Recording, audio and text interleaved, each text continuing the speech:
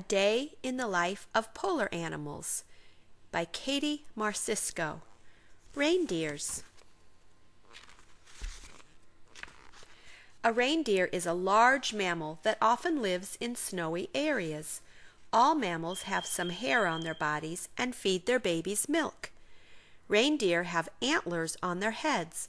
Antlers are hard body parts that are shaped like tree branches. Reindeer have wide hooves that help them to walk on snow and dig for food. Reindeer usually have fur that is a blend of gray and brown.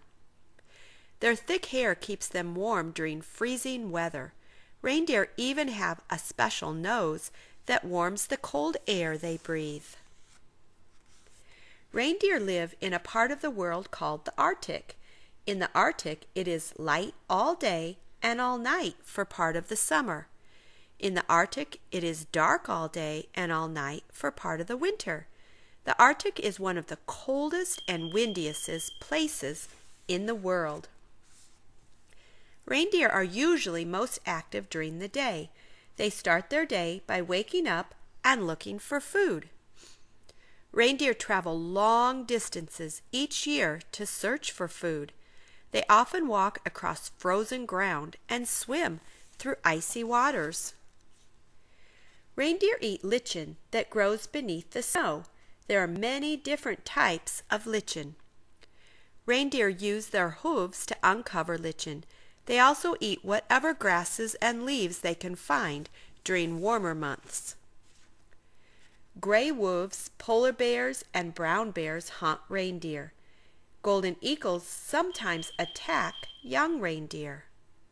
Wolverines attack reindeer too. People also hunt reindeer for their meat and antlers. Reindeer live in groups called herds. They can be dozens to hundreds of reindeer in a herd. When a reindeer travel long distances, small herds often join together to form large herds.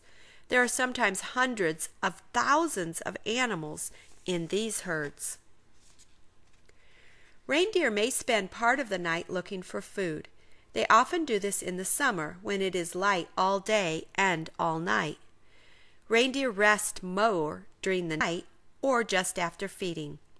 Sometimes they lie down to sleep, but they can also sleep standing up. Mother reindeer give birth to a single baby once a year. Babies are often born in the morning and start traveling with the, in the herd within hours. A baby reindeer is called a calf. After about three or four months, the calf grows antlers and learns to survive without its mother. On this page, there's a reindeer body map. You can see the antlers, the fur, the nose, and the hoofs.